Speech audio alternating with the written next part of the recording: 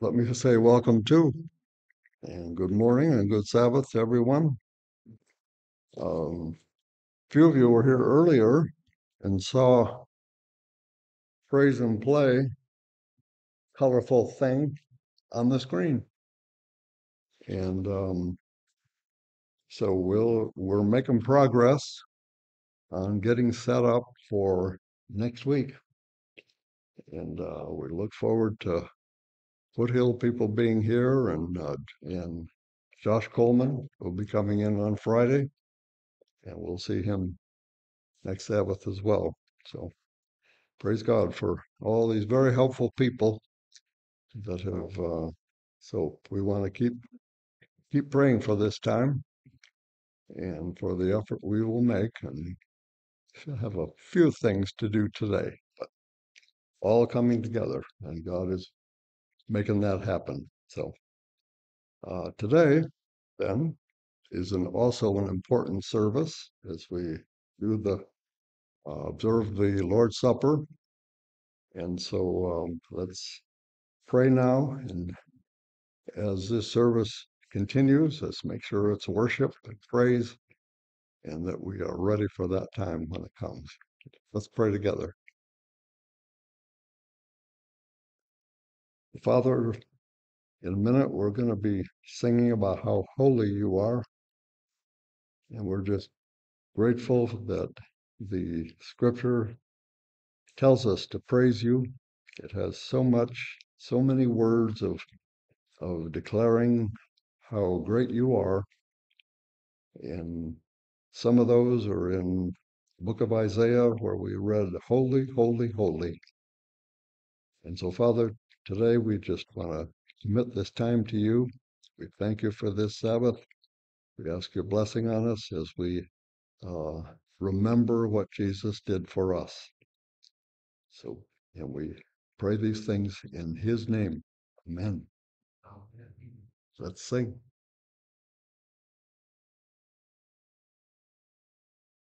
Our scripture reading this morning is taken from 1 Corinthians 15 1 through 8. Moreover, brethren, I declare to you the gospel which I preached to you, which also you received, and which you stand, by which also you are saved.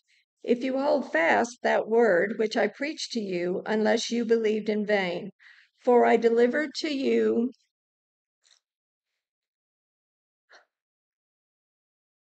Okay, sorry. Um,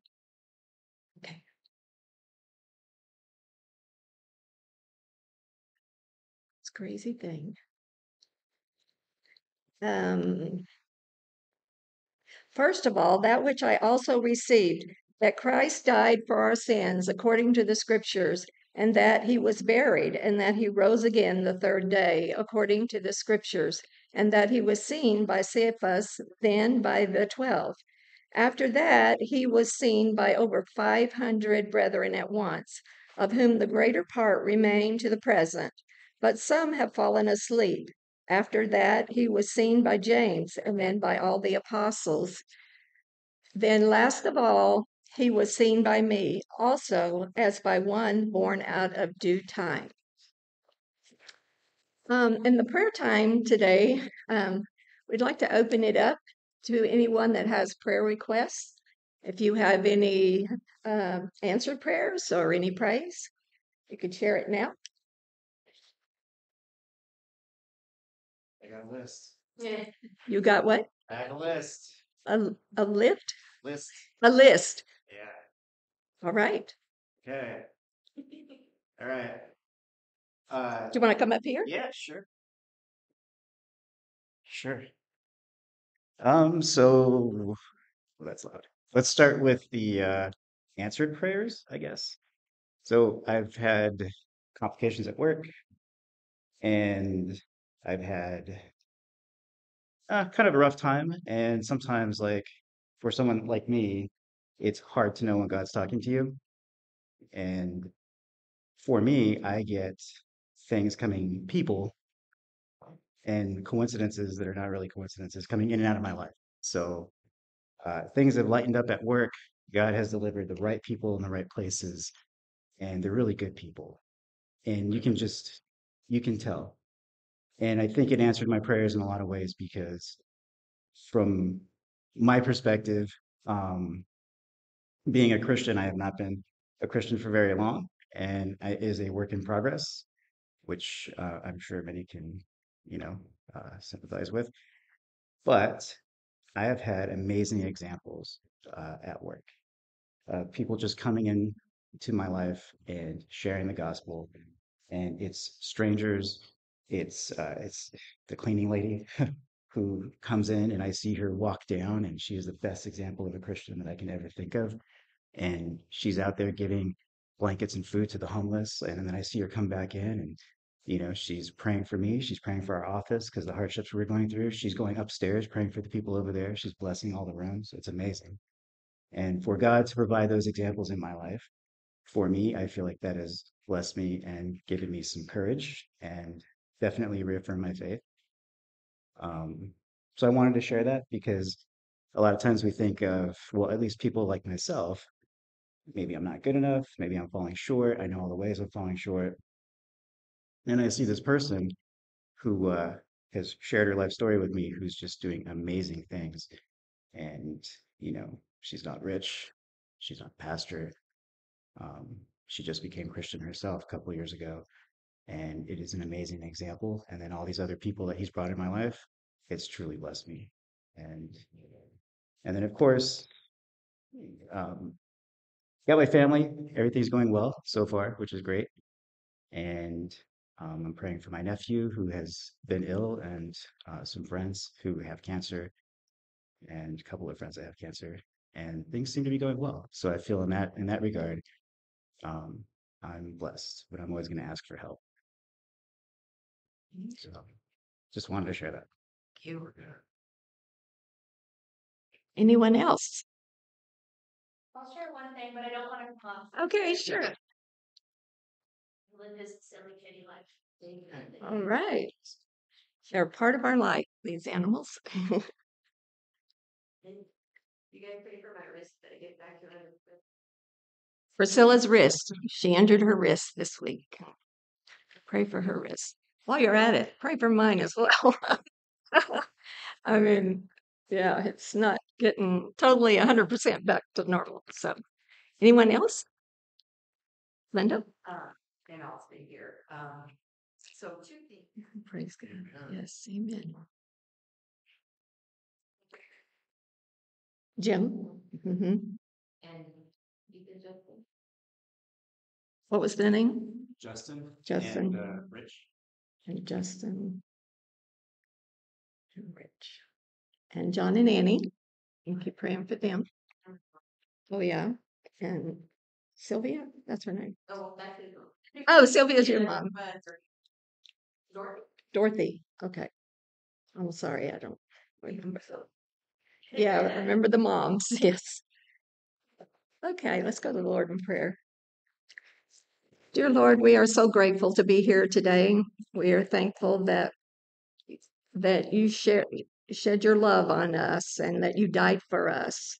Um, and we are just so grateful to hear all these blessings that people have shared today about how you have gone be, grown closer to, or Linda has grown closer to you, and um, and the experience that James is having at work, and the um, people that are witnessing there and are sharing and showing your love.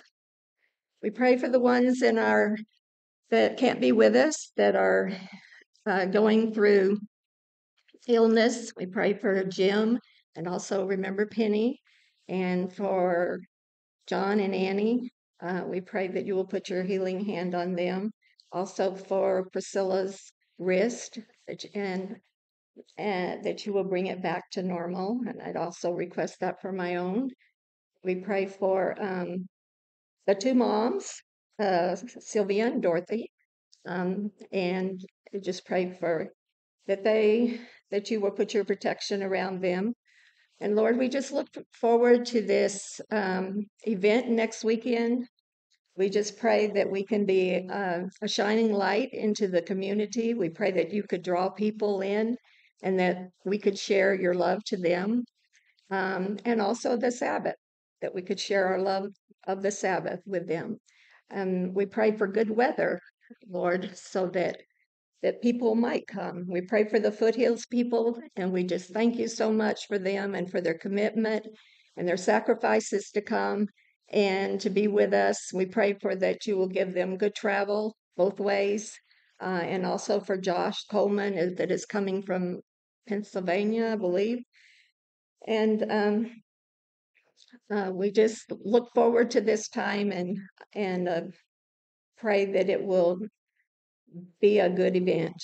And um, we we thank you, Lord, for the sacrifice you, that that you have made to for us, and uh, we pray that you will be with us in this service, and also in our fellowship time today. In Jesus' name, we pray.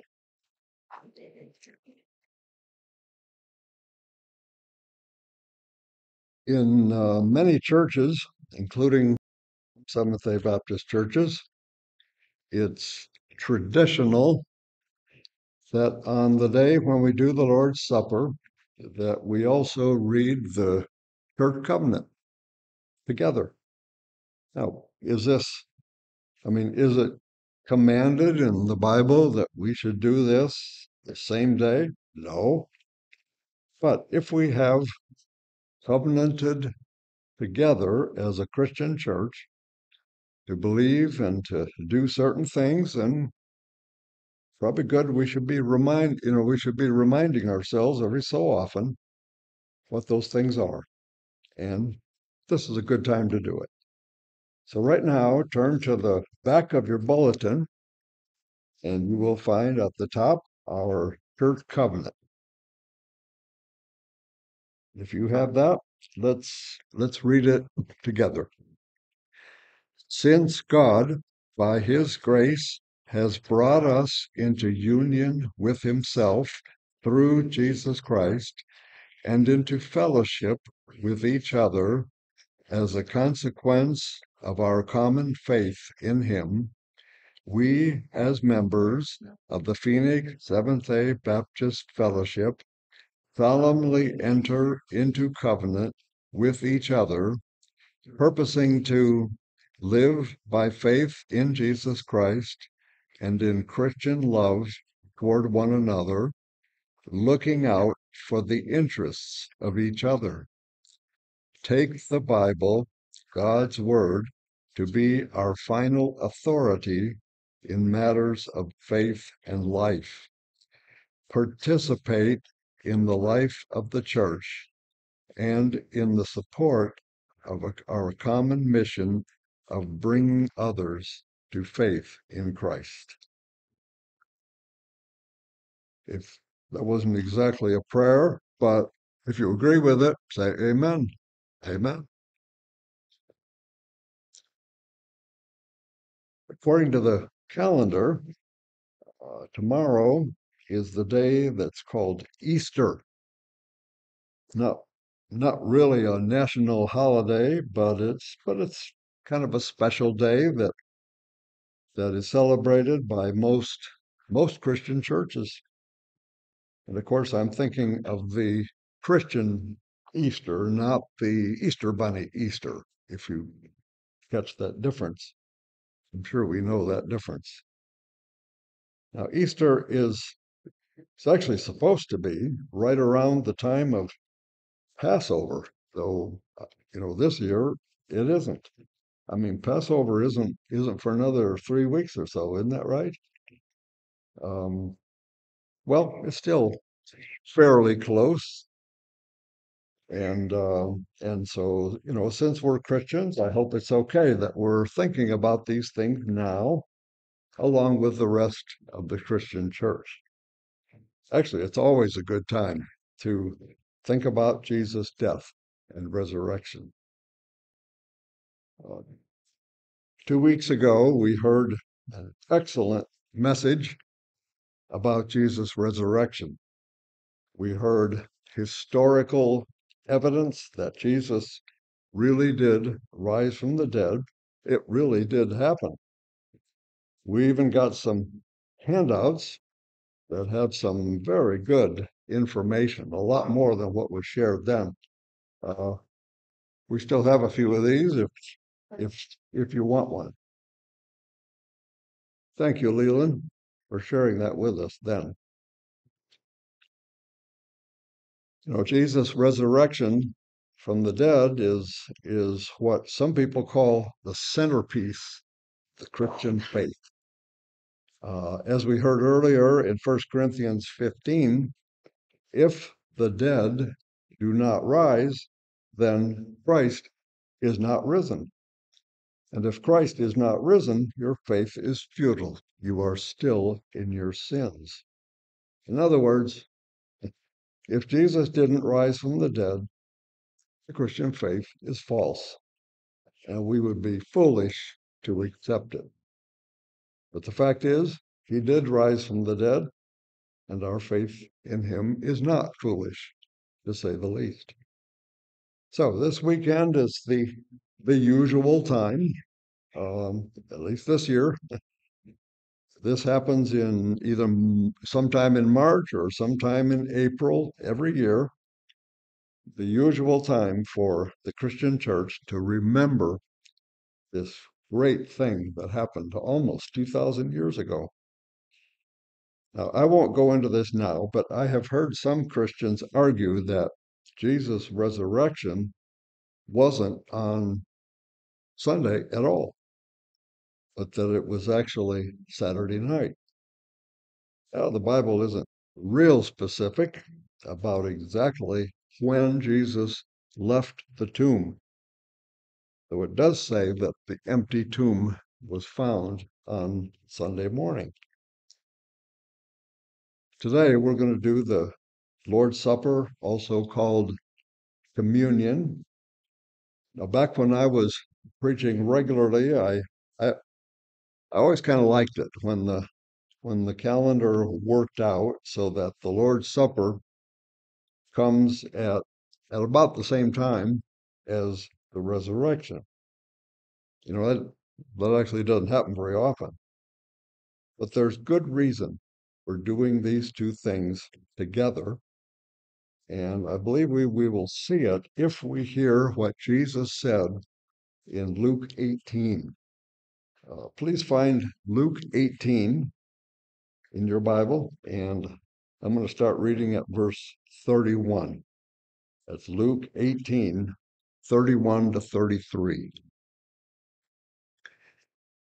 Then he took the twelve aside and said to them, Behold, we are going up to Jerusalem, and all things that are written by the prophets concerning the Son of Man will be accomplished. For he will be delivered to the Gentiles, and will be mocked, and insulted, and spit upon. They will scourge him and kill him, and the third day he will rise again.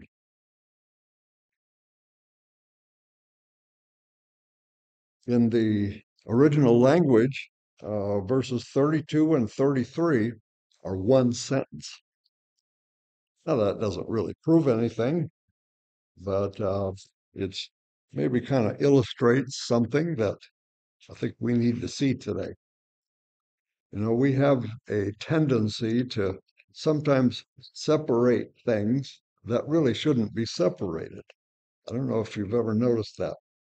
Uh, for instance, Christians often say that there is a physical part of our lives and there is a spiritual part. And sometimes we talk about them as though they're, they're something very different from each other. So we'll say that we have physical problems and then there, there are spiritual problems. For the most part, the Bible doesn't do that. It says we are one person made up of spiritual and physical. Or another example, uh, I've heard Christians talk about, you know, this present life as Christians and the next life. In other words, our present life here on earth and our future life in heaven as though they are something completely different from each other. What the Bible says is that we have eternal life. We have it now, and we have it in the future forever. Well, it's it's the same sort of thing with Jesus' death and resurrection. Uh, some churches like to, you know, kind of separate them, uh, like it's you know, two different things that happened a few days apart. So a common calendar in the church year will will uh, go something like, you know, one week we sing and we preach about Jesus' suffering and death, concentrating on that. And then the next week we sing and preach about his resurrection. There's certainly nothing wrong with that. Not at all. But listen to what Jesus said here. He said, I'm kind of summarizing the verses we read. The Son of Man will be handed over and killed and rise again. And sounds like he kind of said it in one breath. And as I said, one sentence in Greek. It's one thought. It's one event. His death and resurrection. Now, of course, Jesus dying had to happen so that the penalty for sin could be paid. The wages of sin is death. So Jesus endured that for us in our place so that we wouldn't have to pay the price ourselves. As the Son of God and the Son of Man, he he could pay. He's the only person who's ever been able to do this. He could pay a price that would satisfy God's wrath against sin.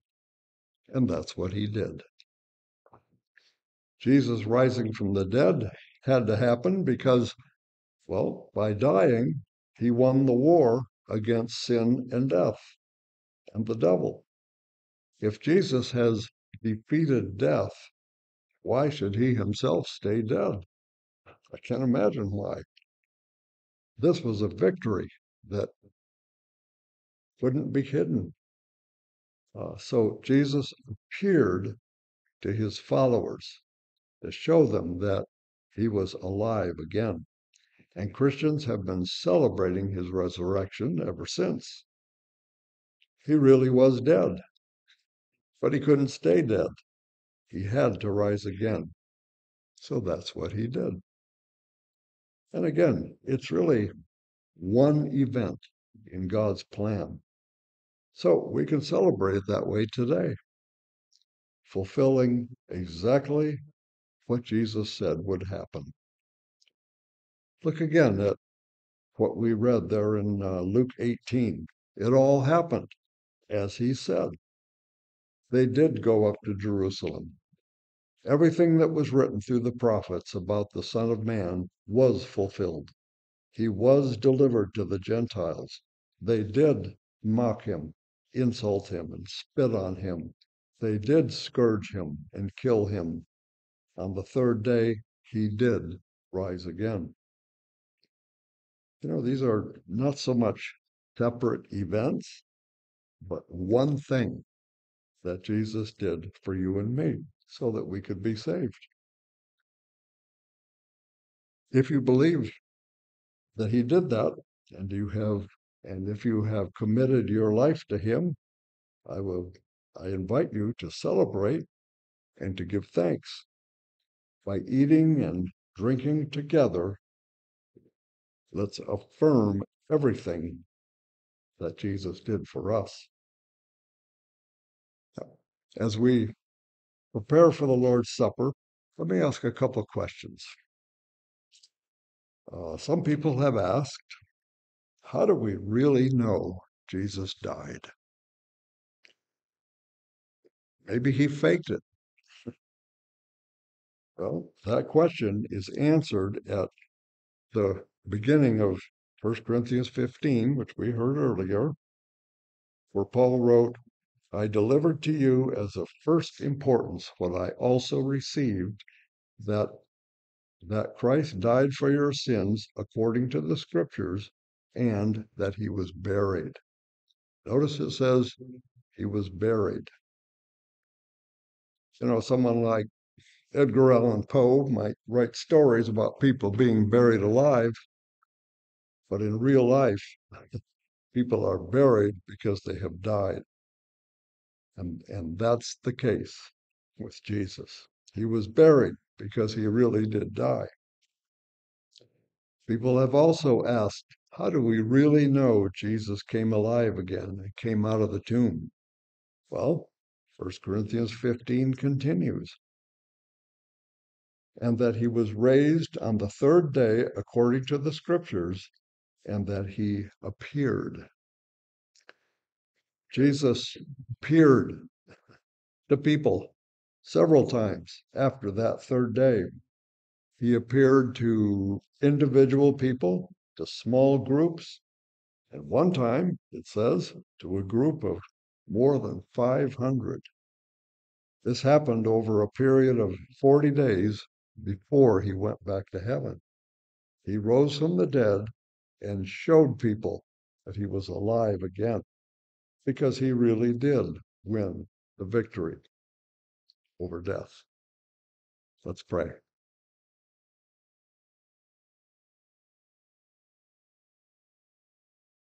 Thanks be to God who gives us the victory through our Lord Jesus Christ. We thank you, Father, that death is swallowed up in victory, the victory that he won by shedding his blood and giving his life. Lord God, we understand and believe that what Jesus did was real. It happened at a real time and in a real place. Thank you that our faith is based on fact and not fantasy. And we're especially grateful for the fact of Jesus suffering and dying for us. Bless this bread that we eat to remind us of what he did. Bless this cup as we drink to show us his victory. Amen. Jesus said, This is my body broken for you. This cup is the new covenant in my blood.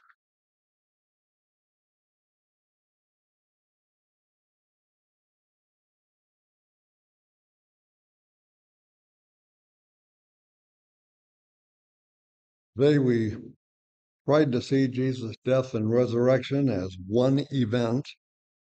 You know what? Even then, we stop short of the whole picture. He also promised that he will come again. So take your bulletin again, and let's close with the words that you find in the middle of the back that I've called the benediction. Let's read this. It's kind of like a declaration, you might say. Let's read this together three times. You ready? Christ has died. Christ is risen. Christ is coming again. Christ has died. Christ is risen. Christ is coming again. Christ has died. Christ is risen. Christ is coming again. Amen. Lord bless you.